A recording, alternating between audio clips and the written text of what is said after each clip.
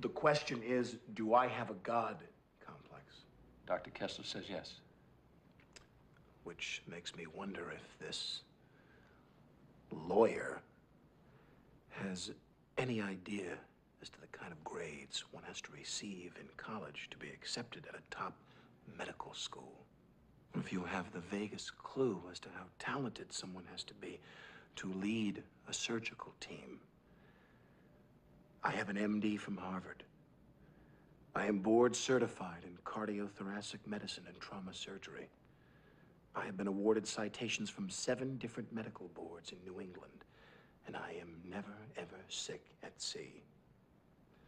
So I ask you, when someone goes into that chapel and they fall on their knees and they pray to God that their wife doesn't miscarry, or that their daughter doesn't bleed to death, or that their mother doesn't suffer acute neural trauma from postoperative shock, who do you think they're praying to?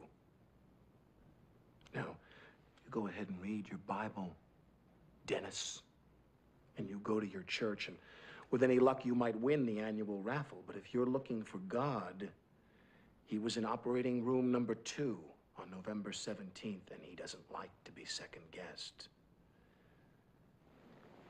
You ask me if I have a God complex? Let me tell you something. I am God. And this sideshow is over.